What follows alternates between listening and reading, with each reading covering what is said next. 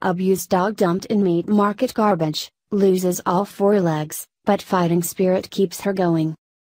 When most of us think about dogs, we think of them as pets. We know them as loyal companions with infinite love to give. But in one country, dogs aren't looked at as pets. Instead, they are used for their meat. South Korea is the only country in the world that commercially raises dogs for their meat. Sadly, even before they are butchered, these dogs are kept in horrible conditions and often abused or neglected. When rescuers found a dog abandoned outside a meat farm, their hearts broke at her condition. She was wrapped in a plastic trash bag and her legs had been so tightly bound with metal wire that they could see her bones. It seemed like the only humane thing to do was to put her down, but something in her eyes made them stop. Despite her horrific circumstances, the dog looked up at them with a glimmer of hope in her eyes, her tail wagging. She wanted a chance at life. The rescuers took her to a veterinarian in Seoul where all four of her limbs had to be amputated.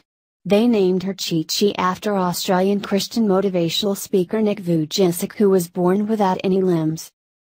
Nabaya Irian Hope Project, a South Korean animal rights organization, decided that Chi Chi's best chance at a good life would be adoption in America so they sent her to the Animal Rescue Media and Education, ARME, group in Los Angeles.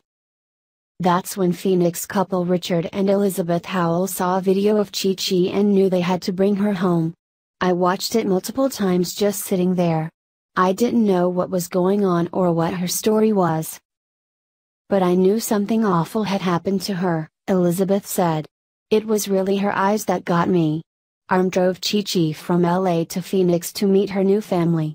Six months later, she was fitted with custom prosthetics that would allow her to walk and run.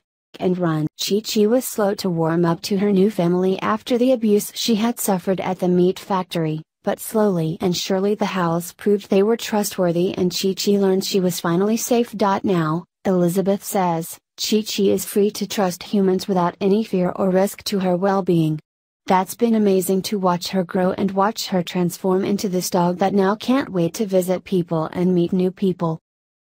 The Howells knew Chi Chi's unique situation would help her connect with other people in a special way, so they got her certified as a therapy dog. Now she regularly visits a veterans center, an assisted living facility, and special needs students at an elementary school, bringing joy wherever she goes. She goes, dogs aren't judging, they love everyone the same. Somehow dogs can just reach a person in ways humans can't, Elizabeth said. Is that compassion? Understanding? I don't know. But it's really special to be able to see.